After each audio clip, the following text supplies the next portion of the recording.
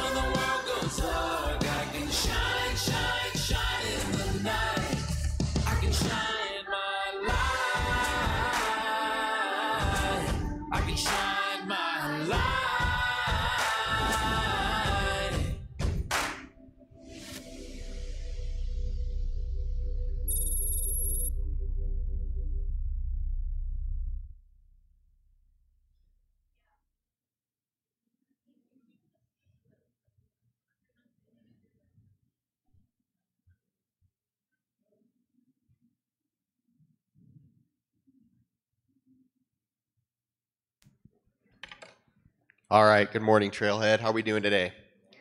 Good. All right, little spiel there for VBS. And so, if you guys have not registered yet, please do so. Uh, we're looking for children to register as well as any volunteers to register. So, uh, lo really looking forward to that. Um, that will be the week of July 24th through the 28th. And so, if you are not able to send a child or volunteer yourself, we ask that you guys would be in prayer, prayer for that week. Uh, that's a big outreach for our church uh, to the community and as well as to our own. And so, just be in prayerful consideration about that, and just pray that the Lord would work through work through VBS this year. And so, uh, as far as announcements are concerned, um, we do have Potluck Sunday on July 9th, uh, barbecue potluck. Please bring a side dish or a dessert. Uh, those are always just a great time to get together, um, converse with those uh, in the body, and just to connect and uh, just to be refreshed by that. And so, uh, also wanted to shout out to last Sunday, we had a softball Sunday and huge, huge turnout. So it was really great. Um, we're looking to schedule another one of those this summer. Uh, and so to be determined. We're working on that. Maybe in two weeks. We'll see. We'll see. So, uh, yeah, just a lot happening. And uh, I know summertime is full, but just what a great time to um, hang out, fellowship together, and hopefully stay safe and, and have fun playing softball, not get hurt. uh, all right. Uh, at this time, we're going to uh, do our text, our call to worship text, and if you could turn in your Bibles to 1 Peter, that'd be great. 1 Peter, we're going to read chapter 1. It is on page 1014 in the Pew Bibles. 1014. It's 1 Peter chapter 1. I'll read verses 13 through 19.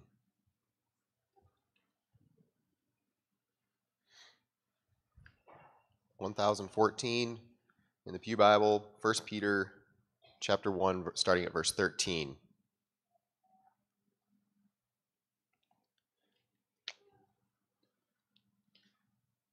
Good to hear the pages rustling, getting there. Good job. All right. 1 Peter 1, verse 13.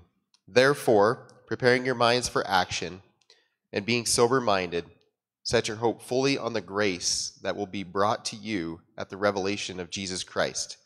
As obedient children, do not be conformed to the passions of your former ignorance, but as he called you, he who called you is holy, you also be holy in all your conduct. Since it is written, You shall be holy, for I am holy.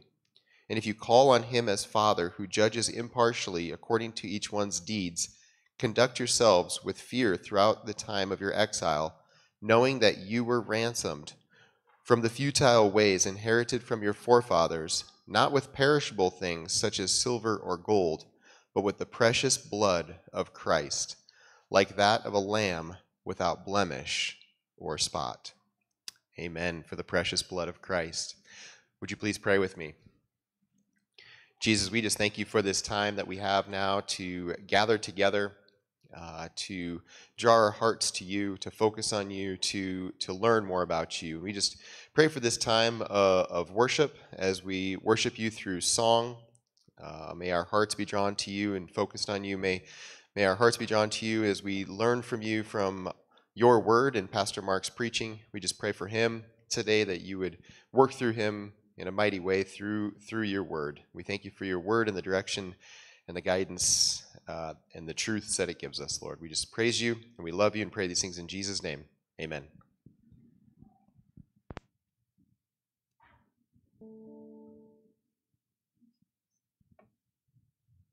Good morning, church. It's good to have you this morning.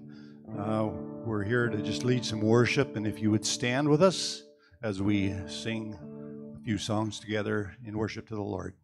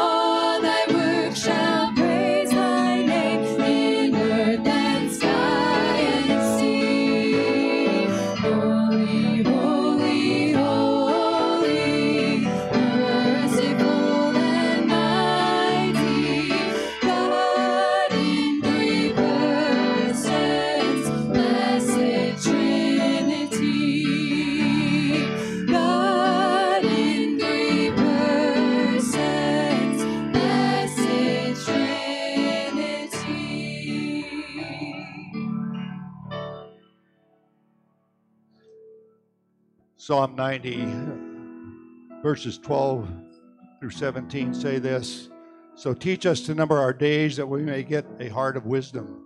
Return, O Lord, how long? Have pity on your servants. Satisfy us in the morning with your steadfast love, that we may rejoice and be glad in all our days. Make us glad for as many days as you have afflicted us, and for as many days as we have seen evil. Let your work be shown to your servants and your glorious mm-hmm. power to their children. Let favor of the Lord our God be upon us, and establish the work of our hands upon us. Yes, establish the work of our hands. Let's pray.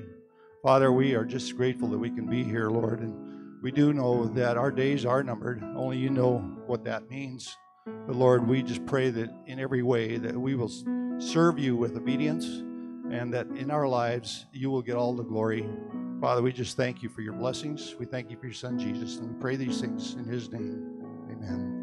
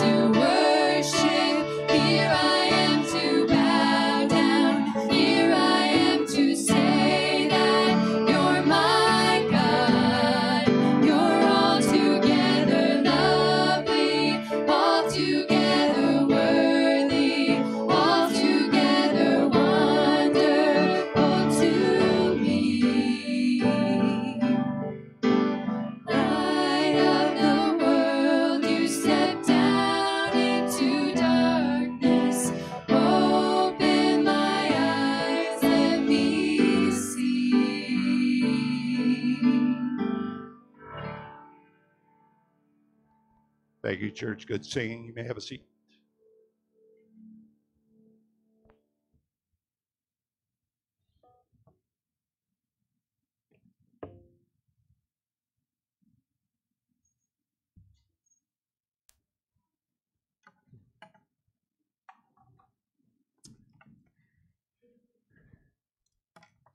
Good morning, church. Good morning. It's good to be here with each of you today. Lord willing, this will be our last week without air conditioning. And all God's people said, Amen. That's that's exciting, exciting to me. It's it's hooked up, it just needs to be tested this coming week, so we hope that Next week, we won't need to have the doors open and that kind of thing. It is a beautiful day outside, though, for sure. Um, we praise the Lord for that. I'm going to invite you to turn with me in your Bibles to the book of Ephesians, chapter 4.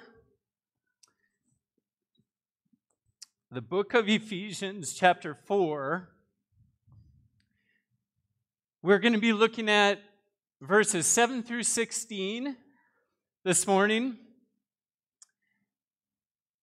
And at, at first glance, I think that we're going to, we might, we might read this text and not think that there is so much here. But as we dig into it this morning, I think we're going to see otherwise. This, this text is chock full of truth for each of us this morning. So if you're following along in the Pew Bibles, it's page 977. Ephesians chapter 4. This is the Apostle Paul reading, writing under the inspiration of the Holy Spirit. He says these words But grace was given to each one of us according to the measure of Christ's gift. Therefore, it says, When he ascended on high, he led a host of captives, and he gave gifts to men. In saying he ascended, what does it mean but that he had also descended into the lower regions, the earth? He who descended is the one who also ascended far above all the heavens, that he might fill all things. And he gave the apostles, the prophets, the evangelists, the shepherds, and teachers to equip the saints for the work of ministry, for building up the body of Christ until we all attain to the unity of the faith and of the knowledge of the Son of God, to mature manhood, to the measure of the stature of the fullness of Christ, so that we may no longer be children tossed to and fro by the waves and carried about by every wind of doctrine, by human cunning, by craftiness and deceitful schemes. Rather, speaking the truth in love, we are to grow up in every way into Him who is the head into Christ, from whom the whole body, joined and held together by every joint with which it is equipped, when each part is working properly, makes the body grow so that it builds itself up in love. I'm going to invite you to pray with me as we continue to worship the Lord together this morning. Would you bow your heads with me now? Dear Father, we praise you for this day. Dear Father, we thank you for the opportunity to gather today. Dear Lord, we acknowledge that each of us come here to this place with different cares, different concerns, different stresses, different heartaches. But dear Father, we are so grateful that you know everyone. Dear Father, we thank you that this morning we can cast all of our cares on you because you care for us. And dear Father, we praise you and we, re- we rehearse this truth that you demonstrated your love for us and that while we were still sinners, Christ died for us. Dear Father, we praise you this morning that our greatest problem, our sin problem, has been dealt with decisively by Christ through his crucifixion, through his resurrection from the grave. Dear Father, we thank you for that truth. Now, Father, we want to pray for those in our body who are needing prayer. Dear Father, this morning, even as we think about July 4th this week, dear Father, we think of those that are in the military, that are serving our country even now. Lord, we pray for Will and for Scout Lined. Dear Father, we pray for Ty Johnson as the three of them are in the Navy. Lord, we pray for them. We pray for their families. Dear Father, we pray this morning for Clay Cantrell. Lord, as he is doing training at Fort Knox, Kentucky. Dear Father, we pray for our brother Chase Reagan. Lord, in the responsibilities that he has in the National Guard. Dear Father, we lift each of these up to you. We pray for your continued provision for them in every way. Dear Father, this morning we also want to pray for those from our church that are camp counselors. Dear Father, we pray for Anna Beatty. We pray for Carson Odell. Dear Father, we lift them up to you. We pray for strength for them as this summer continues. Dear Lord, we pray for campers from our church that they would be strengthened in their faith, that they would be taught of you through their camp experience. Dear Father, that you would move and work through that in their lives. Dear Father, this morning we want to pray for the churches of Broadwater County. Lord, we pray for Pastor Eric Kruger at the Alliance Church in town at Mountain Valley Church. We pray that you would minister through him, that you would be building up the body of Christ there, Lord, through his ministry of the word, even this morning. Dear Father, that the lost would be found, would come to faith in Christ this morning, and that those who are saved would be built up. Dear Father, we pray those same things for our church, for this gathering this morning. We pray that you would be glorified in all that takes place. Dear Father, as we look at your word, we pray, would you have your way in us? We love you, Lord. We need you, Holy Spirit. We pray that you would speak to us through your word now. In the name of the Lord Jesus Christ, we pray these things. And all God's people said, Amen.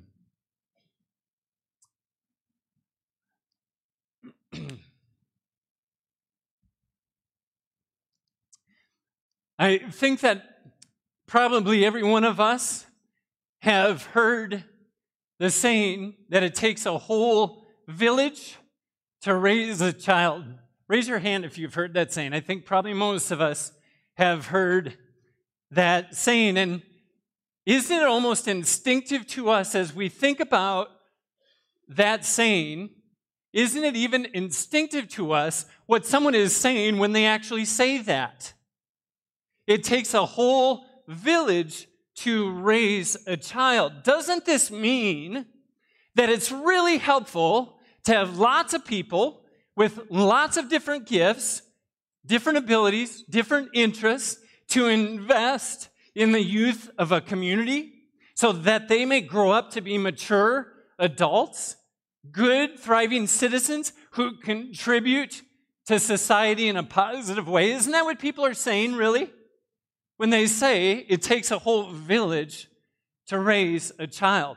Well, in a similar way, it takes a whole church of individuals to help the church become mature, both individually and corporately, as a whole body. This is, in essence, what the Apostle Paul is telling us today.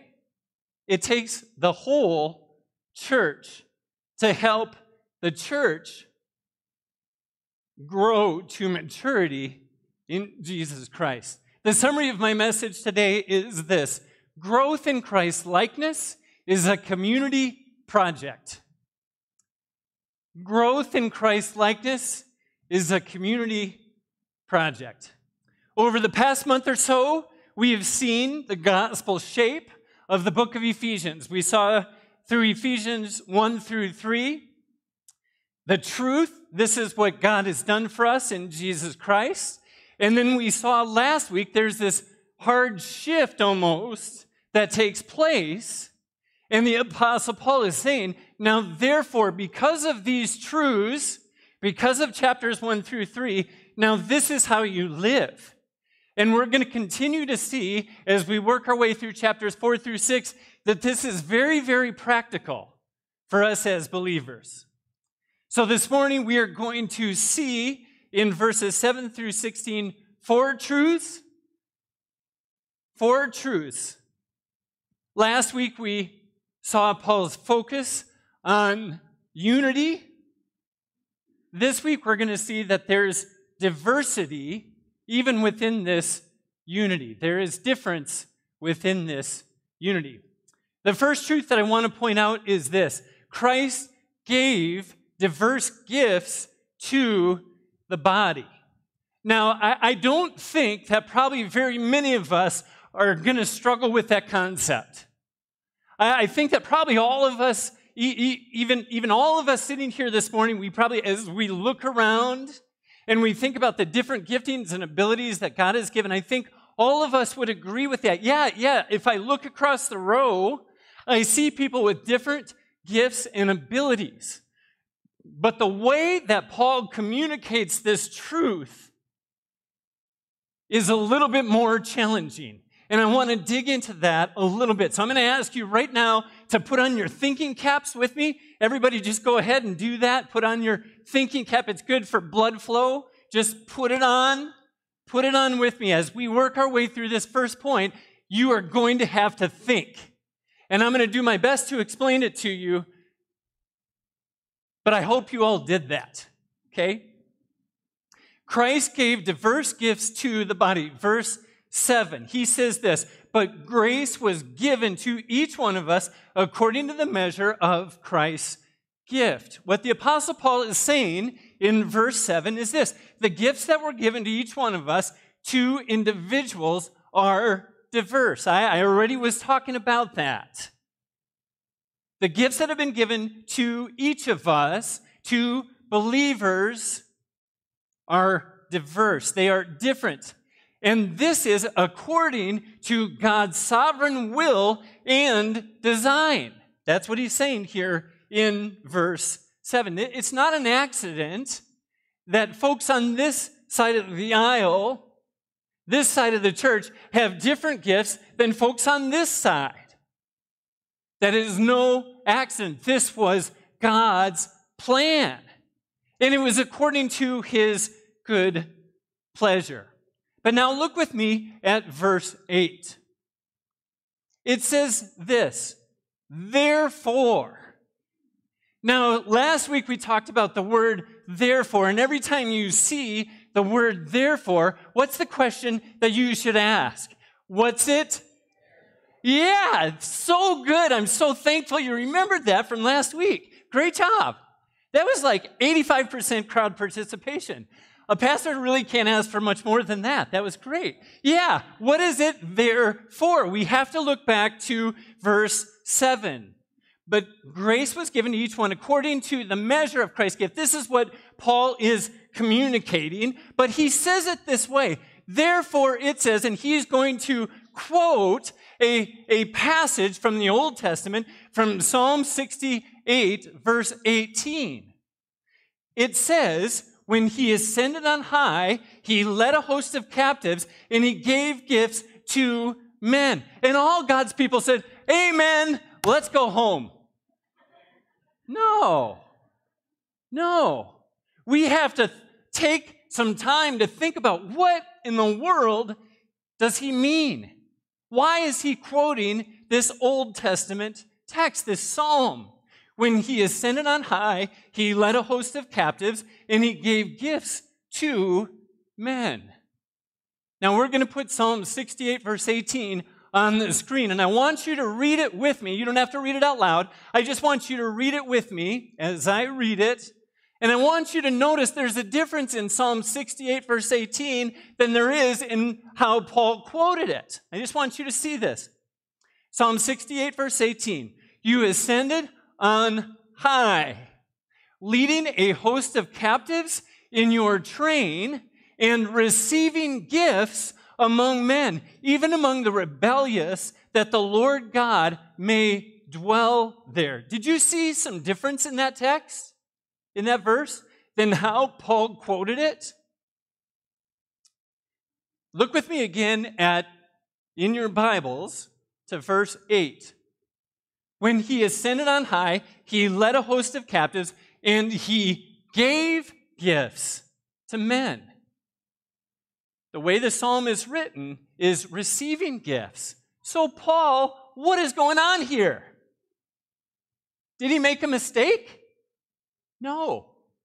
No, he didn't. He did not make a mistake. Before we dig deeper into this quote, we need to understand this. Paul is using an analogy to show how Christ received the right to give spiritual gifts.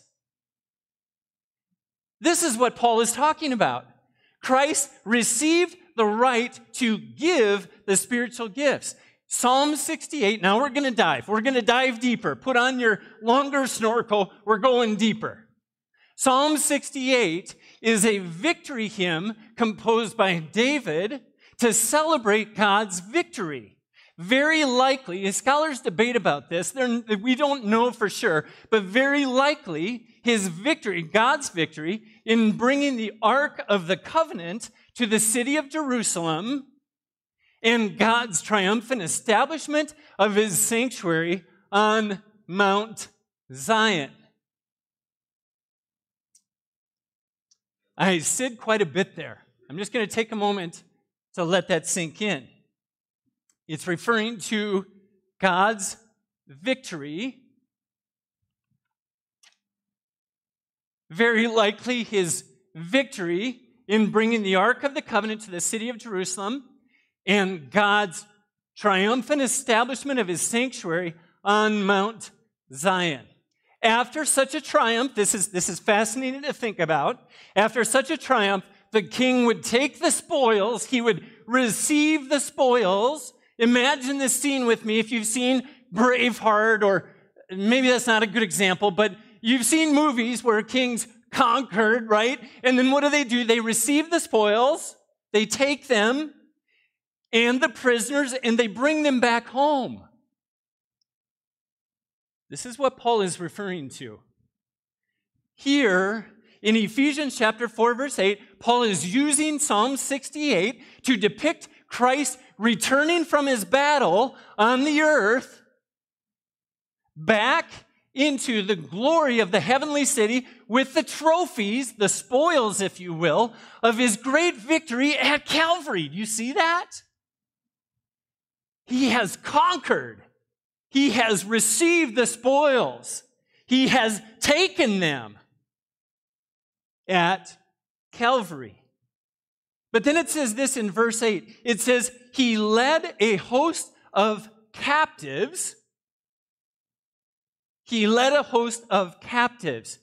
Through Christ's crucifixion and resurrection, Christ conquered Satan and death. We, we know this, right? He did. He conquered Satan and death through his crucifixion and resurrection. And in triumph, returned to God those who were once sinners and prisoners of Satan.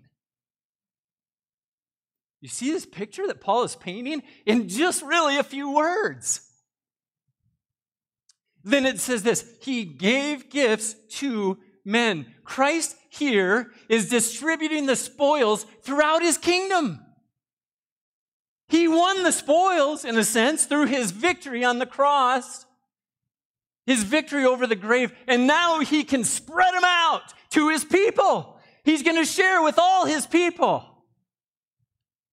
Isn't that a powerful picture? Yeah, clap if you if you wish.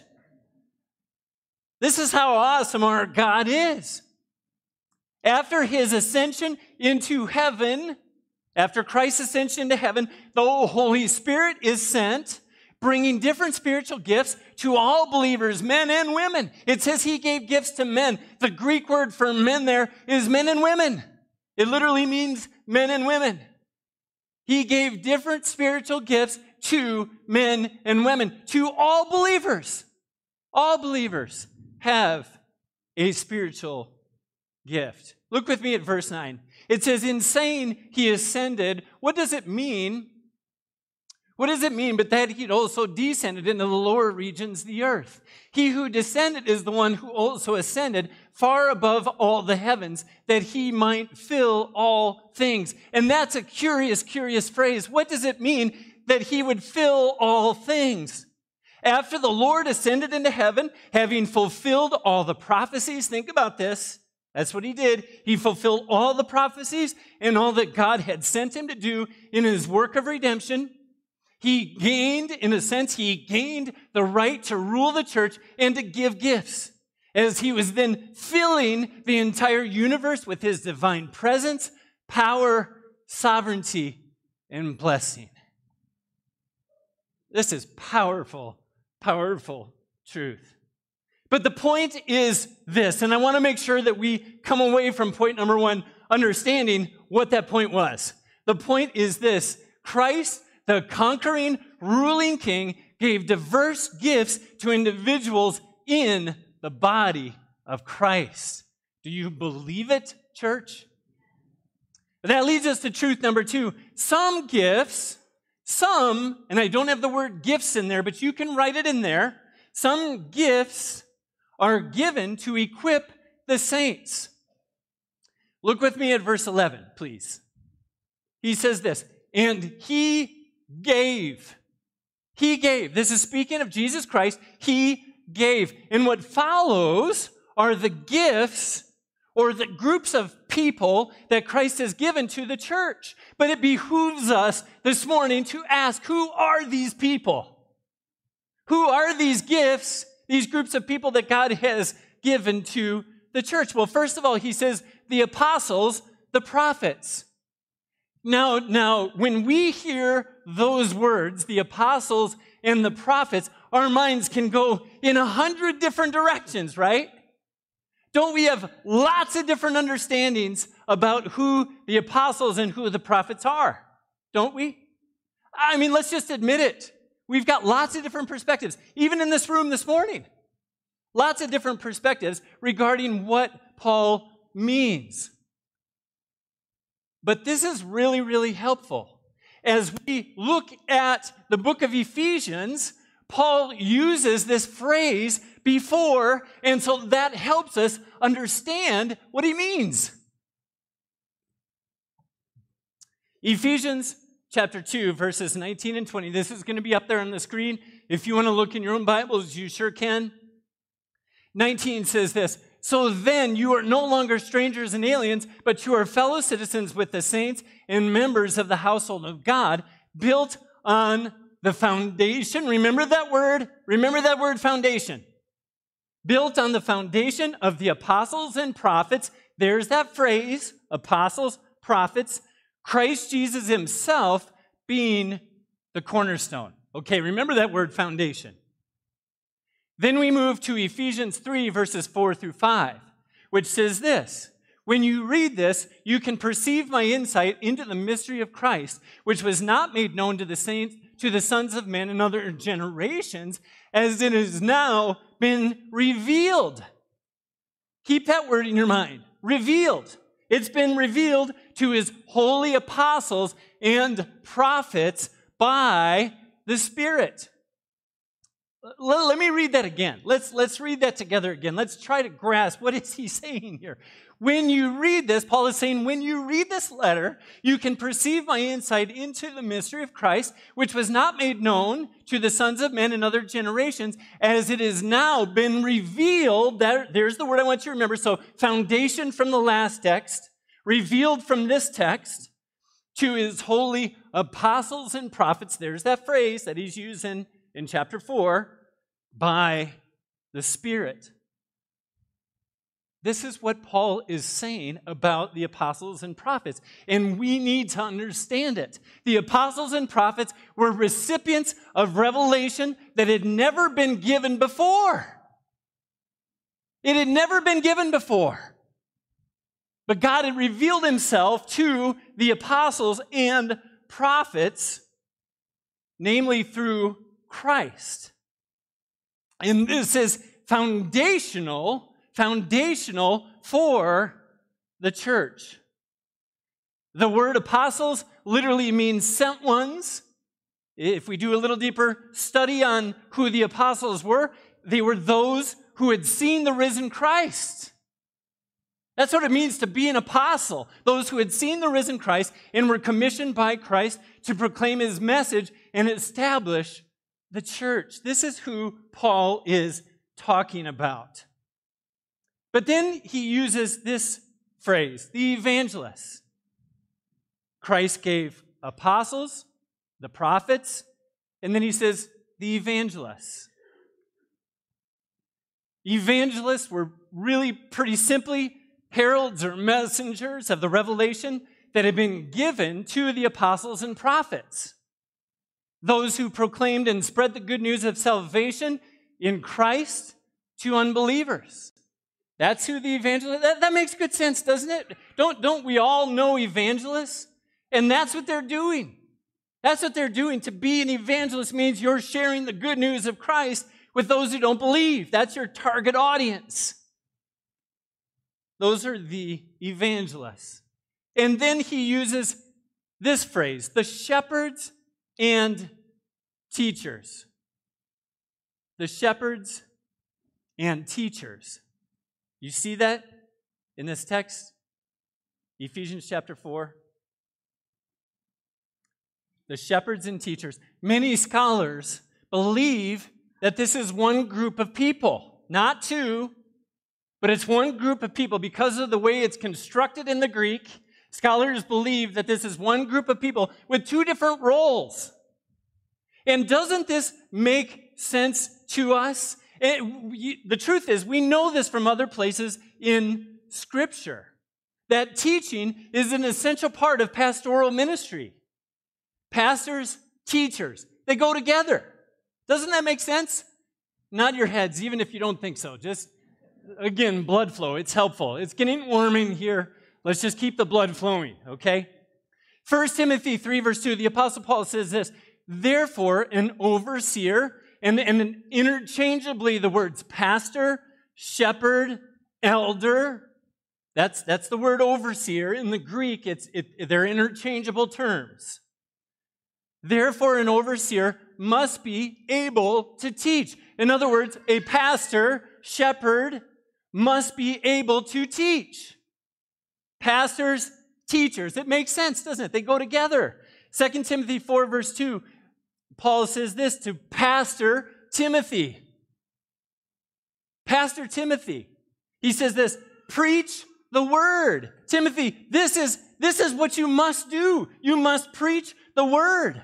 For the time is coming when people will not endure sound teaching, pastoring, preaching, teaching. They all go together. But having itching ears, they will accumulate for themselves teachers to suit their own passions. Once again, what we need to see here is teaching and preaching go together. And this means very practically that the role of pastors or elders is to shepherd primarily by teaching and by preaching. When we are preparing to preach in a given week, it behooves us, if I'm preaching, or if Pastor Clay is preaching, or if Tom, Brother Tom, or Brother Levi, if they're preaching, we need to spend a good chunk of time preparing the word so that we can communicate it to you. Because without the word, we have nothing to say. Absolutely nothing. Nothing. We shepherd as elders, as pastors, primarily through teaching and preaching. Now, there are countless other ways as well. It's not just that, but it's primarily that. And this is why, this is part of the reason that we take preaching and teaching on Sunday morning so seriously. Because we know it's what God has primarily called us to. But now that we know who these groups of people are, we need to answer the question why did Christ give these? Why did Christ give these? Would you look with me at verse 12? He says to equip the saints for the work of ministry. To equip means to train believers, to exercise their own respective gifts for the work of ministry. Brothers and sisters, I want to make sure that we hear this this morning. This is what your pastors, this is what your elders are called to. And it's up to you to hold us accountable. Are we doing this? Are we doing this? I, I, used to tell you if, if I get off the rails, if, if I start to go south some way in, in my preaching, in my teaching, if I'm preaching false doctrine, you, it's your responsibility as a congregation to send me north or send me south on the next train out of here. Amen. Yeah. Yeah. That's right. We are to train I'm going to shift now just a minute off the, uh, for the attention off of myself.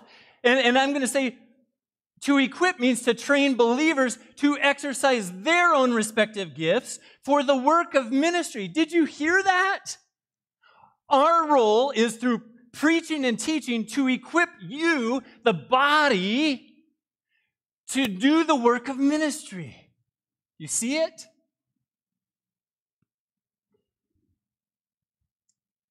rather than the elders doing all the work for the body. And, and I, I'm not saying this happens, but it could happen. Probably not here, but in other churches it might happen. Rather than the elders doing all the work of ministry, the elders' responsibility is to train the body to do the work of ministry. To do the work of ministry. He says, he uses the words the saints. Who are the saints? It's all y'all. That's who the saints are. It's every one of you. Every one of you that are believing in Jesus Christ for salvation. You are the saints. These gifts are given. You are to be equipped by the elders, by the pastors, so that you can do the work of ministry. And, and, and some of you might be saying, yeah, but the work of ministry, I have no idea really what that means. Well, the work of ministry, look with me at the second part of verse 12. It explains it. It explains it, the second part of verse 12. It says, for building up the body of Christ. That's the work of the ministry. It's building up the body of Christ. Some gifts are given to equip the saints. And that leads us to truth number three. All believers are to use their gifts for the good of the body. All believers are to use their gifts for the good of the body. Look with me, please, at verse 15. It says, rather, speaking the truth in love. Now, isn't that a curious phrase? Speaking the truth in love. What on earth do we mean by that? What does Paul mean, even more importantly? What does Scripture mean? Speaking the truth in love. As we think about what that means, isn't it good for us to acknowledge that our culture seems to have made up another commandment that trumps every other commandment in Scripture? Doesn't it seem like our culture has done that? I'm going to tell you what that commandment is in just a second, but I want you to get thinking about that a little bit. Hasn't our culture decided that this commandment that I'm going to tell you in a moment is even more important than all the other 10? It's this You shall be nice. Whoops. And I'm kicking my glasses. You shall be nice. Are you ever on Facebook? Are you ever on social media? Is that not what our culture is telling us today? Isn't that how they are defining what love is? You must be nice. Come on, be nice. You can't say something mean to me. I'm going to go in my safe space. Right? Isn't that what our culture is? And I don't mean to pick fun, but isn't that what our culture is telling us?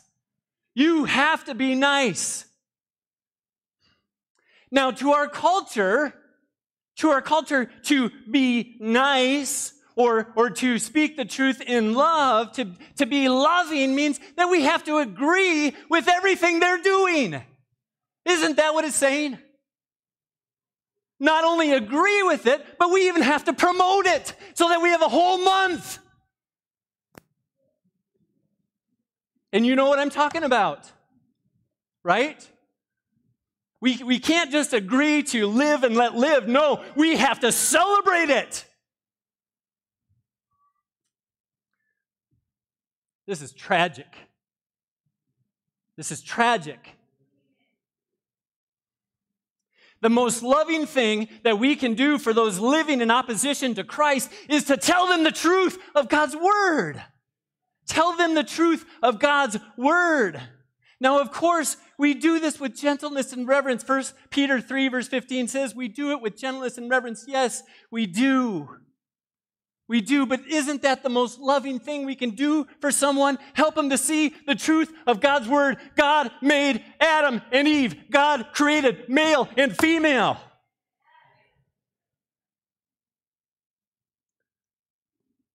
Okay. I got a little out of my notes there. Brothers and sisters, we need to do this for the unbelievers that we know, the unbelievers that are in our lives, don't we? We need to give them the truth. This is what God's word says. I know there's all kinds of nuance to that. There's all kinds of ways that that can be done, and that that can be done in a respectful manner, in a gentle manner. We don't beat someone over the head with this. And yet we love them enough to tell them the truth. This is what God's word says. And if you do not repent, if you continue in your sin, you will go to hell. You will. If you do not turn from that sin, and this is any sin. This is any sin, right? If we don't repent and turn from that sin, we will. We will spend eternity apart from the love of God in Christ Jesus our Lord. That's just the truth. But isn't that, do you see how that is the most loving thing for us to do? We point them to the truth. Jesus will return one day to judge. He is the conquering king. He will bring justice. And as painful as that truth is sometimes, because there might even be family members in our lives, right? That are in these kinds of situations. I know that. And I'm not trying to be hard on you or on anyone else for that matter. Speak the truth in love. We need to do this for unbelievers in our culture. Yes, we do. Isn't it so glorious? Isn't the bad news, doesn't that help the good news to be so glorious? Christ died for that sin. Turn from it. Turn to Christ. He bore it on the cross. Nothing you've done is, is, is too bad for the, for the grace of Christ to cover. Nothing. Absolutely nothing. Turn from it. Repent of your sin. Turn to Christ. Trust Him. He died for you. He died for me. We are all in that helpless boat apart from Christ. So we need to do this for unbelievers in our culture. But even more, brothers and sisters, even more, and here comes a shift. Here comes a shift. Even more, the context of this text tells us we need to do this for each other as believers. We need to speak the truth in love for each other, with each other. And the question that I want to ask you right now is do you have someone like this in your life who will speak the truth in love to you? Not telling you what you want to hear, but telling you what you need to hear. Do you have someone like that in your life? I know this got a little more fiery than I was planning on initially.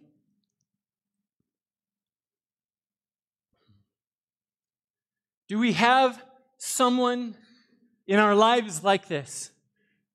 And another good question for us to consider is can we be this person for someone else? Are we willing to love them enough to say, hey, you know what? I, I, you're going off the rails here. If you continue in this, this is not going to be good. You're on a path to destruction. Don't go that way. The bridge is out, right? Don't try to cross that bridge. Wouldn't we wave, jump up and down, waving our arm, don't go that way.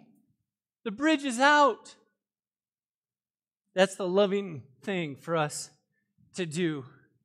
I, I, I, I want I, to say this with all due respect, and my wife doesn't know that I'm going to say this, and that's always a little bit dangerous territory. I know you're all like, you're all like, Pastor Mark, don't do it, don't do it, don't do it.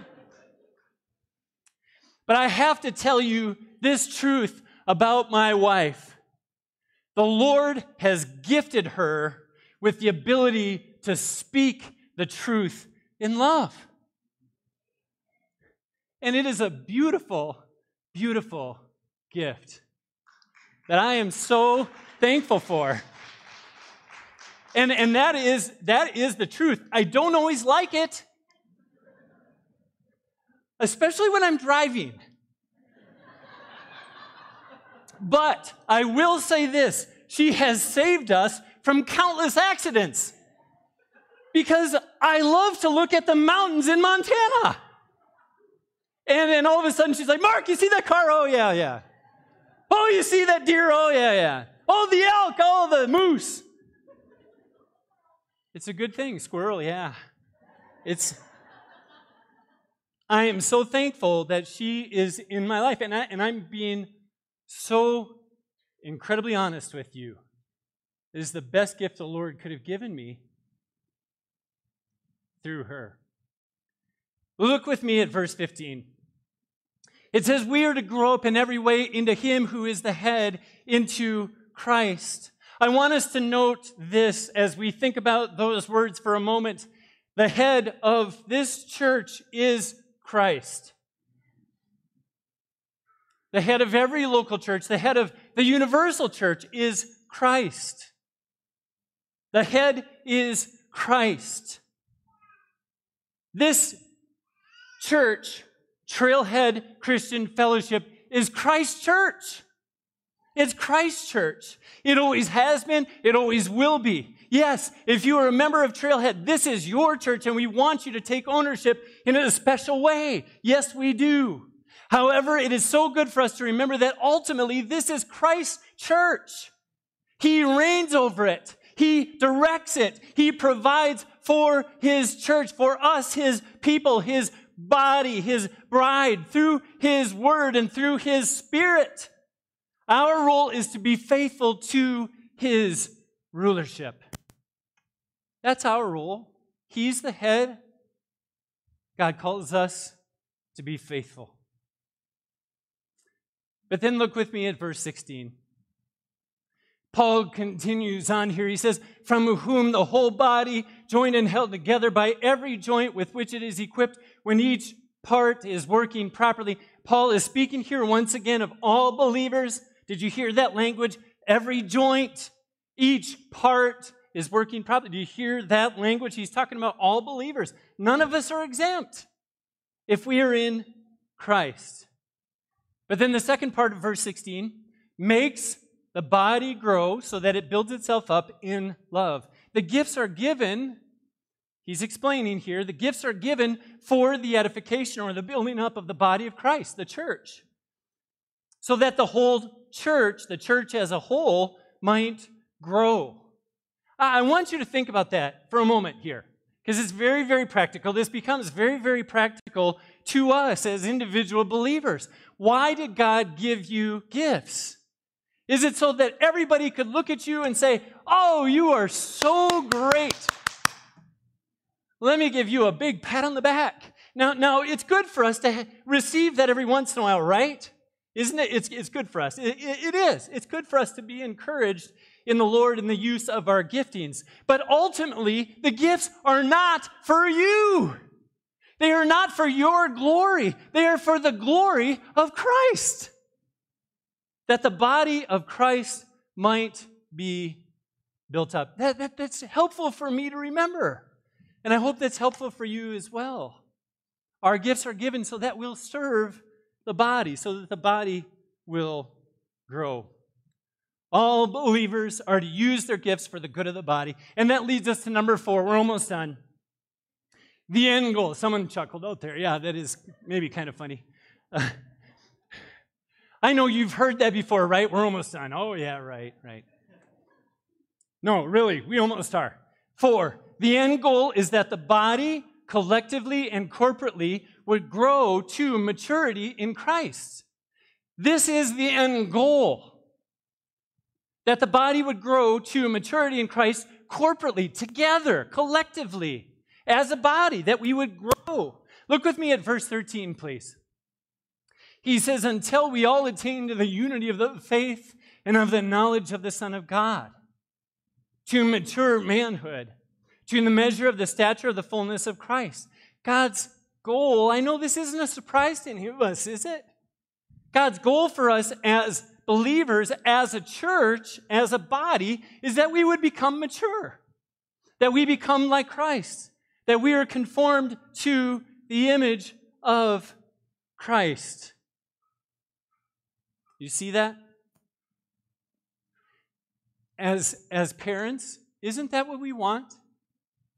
I- Isn't that what we want? We, we want our children, our girls, thinking about our girls, our second one's going to college this year. We're going to be empty nesters. Pray for us. But, but it's what we want for them, really. We, we want them to be mature, to grow to mature, maturity.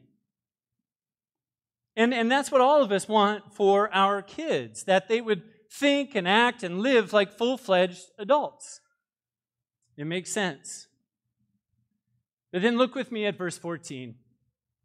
Paul says these words, so that we may no longer be children. This is a striking comparison, a, a- a striking definition of immaturity. He's, he's talking about maturity and mature manhood and, and, and growing up into Christ and being mature in Christ. And then, he, and then he talks about children and how they're immature. This is the picture he's painting. Those who are immature are like children, in a sense. They're tossed to and fro by the waves. They're carried about by every wind of doctrine, by every teaching, by human cunning, by craftiness and deceitful schemes. He's describing those who are immature. And he's saying, like children, they have no true biblical understanding. They have no true spiritual discernment. And boy, oh boy, don't we see that in our culture these days. And, and, and don't we even see it in the church? Not, not necessarily this church, not necessarily this church, but don't we see it even amongst believers, some believers? There, there is not a maturity there. They're blown and tossed by the waves, blown to and fro by the waves, by, by human cunning, by craftiness and deceitful schemes. As believers, we want to be able to recognize the counterfeit by knowing the truth so well, don't we? We want to be able to recognize the counterfeit because we know the truth so well. You, have heard about FBI agents that, that work on counterfeit bills, money laundering, those kinds of things, right? What, what do they do? They study the real thing. And then they know this isn't, this isn't real. This is counterfeit. This is not a true bill. We want to be able to recognize the counterfeit by knowing the truth so well. We want to have right understanding, don't we, about the doctrines of Scripture so that we're not tossed to and fro by the waves. Don't we want to become workmen who don't need to be ashamed, accurately handling the word of truth? 2 Timothy 2, verse 15. Right on one of the students? Approved workmen are not ashamed. Students, say that with me, real quick. Approved workmen are not ashamed. Everybody say it with me. Approved workmen are not ashamed. That's what we all want to be as believers. We want to be approved workmen who don't need to be ashamed. Our goal is Christ likeness. Our goal is maturity in Christ, not only individually, but corporately as a church. Now, we, we're at the end of the text. I told you we'd get there. And I just have some questions that I want to ask you as we apply this scripture to our lives. How do we apply this text? I, I need to pause. And I need to say something about my little rant a little bit ago. that may come that may come across as harsh, that may come across as demeaning, that is not my intention. What makes me angry is the ploys of Satan, who is destroying the image of God in men and women. That's at the root of all this. It's satanic. It's at the root of all of this. And so that's where our anger, that's, that's where that needs to be directed, right? Not at those people. Not, not at people. There, there are people who are legitimately struggling with issues and they need help. They need help. So, there's probably a lot more I could say about that, but I want to ask these application questions. As elders, are we doing what God has called us to do? Are we equipping the saints? And this is for Tom, for Levi, for Clay, and myself. Are we doing what God has called us to do? Are we equipping the saints for ministry primarily through our teaching and preaching? This is what we are striving for. I assure you, this is what we are striving for as elders, as pastors, teachers. This is what we are trying to do. And I pray this is more. I pray that, that we do this more and more, God helping us. But it's great for us to ask that question of ourselves, even right now. Are we doing what God has called us to? Are we being faithful to His command to each of us? That's where we need to start as we apply this text. But then we move on from there and we move to all of us together. As individuals that have gathered here this morning, I want to ask you this question Are you involved in the work of ministry? Are you involved in the work of ministry, or are you keeping the church at arm's distance? And when I say the church, I mean people, God's people, the people from this church. Are you keeping them at arm's distance? Ah, that's close enough. I don't want to get involved. Nope, talk to the hand. Are you using your gifts for the work of ministry? Are you using your gifts for the building up of the body? Now, now I want you to hear me. I want you to hear this. I'm not talking about official titles or positions or church programs. That's not what I'm talking about. You don't need an official title. You don't need a church program. You don't need an official position to be used by God, for your gifts to be used by God in the body. You don't. Do you believe that, church? I, I said, do, do you believe that? You don't need an official title for your gifts to be used by God to minister to the body. You don't. You don't need an official title or a church program to use the gift of encouragement or the gift of hospitality or the gift of mercy for someone else's good, do you? I mean, show me in Scripture where you need a title for that. No, you don't. You don't. I'm talking about being involved in one another's lives on a daily basis. I'm talking about using your God given gifts, such as encouragement and hospitality, for the benefit of others in the body, so that this body, this local church, would grow to maturity in Christ. All of us are to be involved. All of us.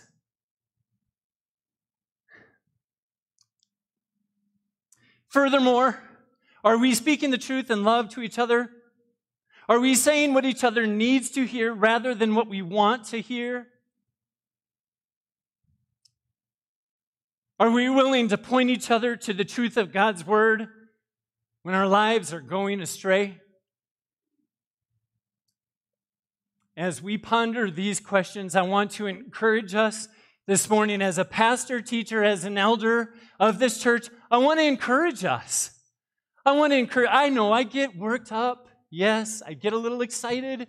Sometimes I think you know that about me by now. But I want to tell you this, and I want to make sure that you hear it. We are seeing these things, these very gifts being utilized for the building up of this body right now.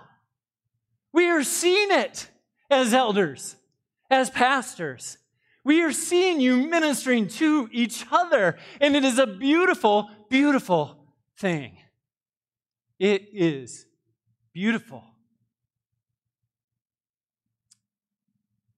Trailhead, brothers and sisters, let's keep it up and increase. Don't we want to increase? Let's increase. Let's increase in these things all the more. Growth in Christ likeness is a community project. May the Lord help us to be faithful to use our diverse gifts with whomever we can within the church so that this growth in Christ likeness may happen more and more for His glory, for the good of His body, and for our joy in Christ. And all God's people said, Amen. Would you pray with me? Dear Father, we thank you for this text. Dear Father, we thank you. We thank you for the grace that you have poured out on us. Lord, even as verse 7 says, but grace, this was because of your grace. Any gifting that we have received is because of your grace. It's a demonstration of your grace. We didn't earn it, we don't deserve it. Dear Father, we're so grateful. You, you've given us gifts.